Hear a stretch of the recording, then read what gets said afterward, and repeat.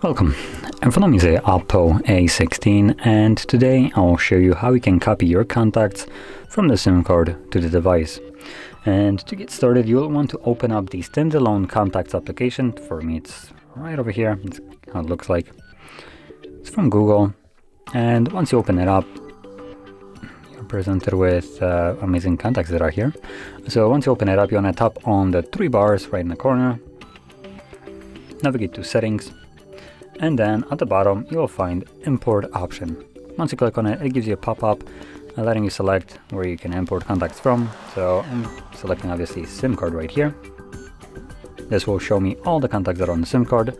As you can see, I already had some contacts on the device and those contacts that are on the device are also on the SIM card.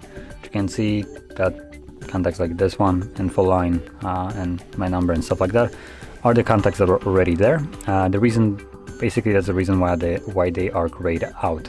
Those contacts already exist and gives you a message if you try to select it uh, that it already exists. So uh, leave this contact alone, basically. Anything else that is selected normally in blue, you can deselect if you don't want. And from there, select import once you have everything selected. It gives you this uh, not very useful pop-up, remove copy, uh, copies from SIM card. Uh, no, I do not want to do that, so I'm selecting keep. Otherwise, it just removes all the contacts from your SIM card and moves it to the phone. So if you format your device, you now have no contacts. Additionally, you can also just import them to your Google account, which resolves that problem altogether. So anyway, now that we have imported those contacts, you can see that they did appear here as well. So we have a couple more.